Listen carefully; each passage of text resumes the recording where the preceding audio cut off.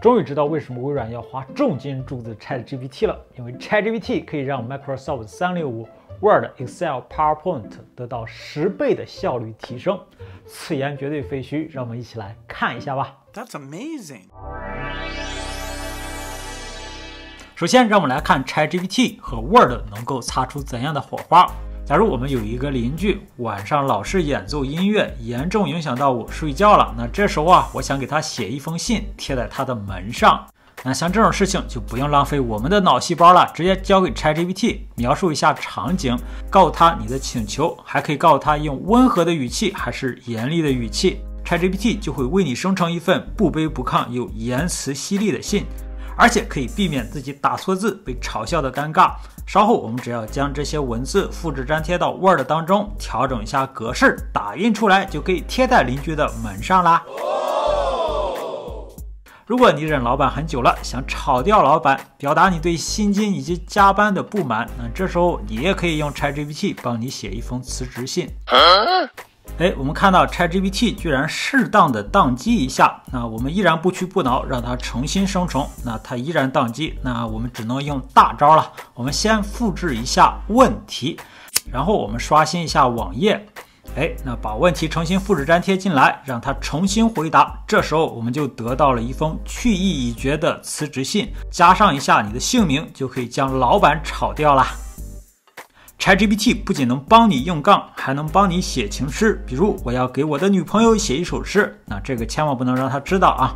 我需要在 ChatGPT 里告诉她一些要素，哎，要把这些要素写进去，然后就可以让她为你写诗。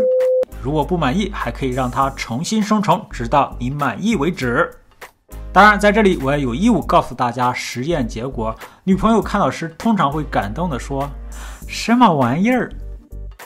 下面我们来看 ChatGPT 在 Excel 当中的妙用啊！现在的 Excel 可谓非常的智能。比如现在我要把邮箱的名字提出来，哎，那我只要在 B1 单元格中输入 A1 单元格中 at 符号之前的内容，然后我选中所有的这些单元格，按 Ctrl 加 E，它就能够自动的提取出来。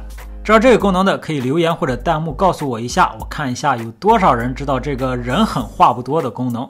但是在 ChatGPT 里，我们其实可以通过聊天也实现同样的效果。重点就在于你要非常清晰的把这个问题给它描述出来，最好还给它举一个例子。这时候 ChatGPT 就会告诉我们一个公式，我们把公式复制粘贴进来，啊，也会得到同样的效果。由于这里是公式，我在这里双击一下，也可以快速的将名字提取出来。好，我们再来看下一个案例。那以后在 Excel 当中的公式真的可以完全信任 ChatGPT。我们要锻炼的是描述问题的能力。我们以后就不用再跟 ChatGPT 比较谁写的公式更加优雅简洁。我们要比的是跟其他的人类谁描述问题的能力，谁能够将问题又简洁又准确的描述出来，就可以大大的解放生产力啦。ChatGPT 不仅会告诉你一个明确的答案，而且会对这个答案进行详细的解释，真正让你在实践中得到学习。最后，我们再来看 ChatGPT 如何帮我们写幻灯片。那比较容易想到的是，可以让 ChatGPT 帮我们生成一份大纲。这份大纲啊，通常会给我们很多灵感。比如，我让他写一个如何做好 PPT 信息可视化的大纲。哎，那我就可以从他的大纲中获取灵感。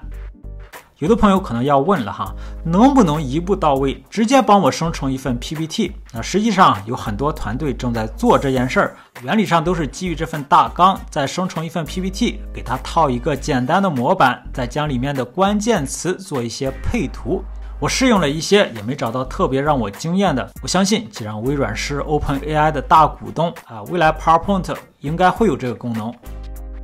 我现在用的比较多的功能是让 ChatGPT 帮我总结重点，比如我有一大段文字，那我想让它给我总结三个重点，那它就可以出色的完成任务。当然，如果你觉得文字还是太多，你还可以对每一个要点的字数加以限制。总之，它会让你满意的。好，以上就是本期节目了。如果觉得对你有所启发，不要忘了点赞、关注、转发。我是京本正一，我们下期再见。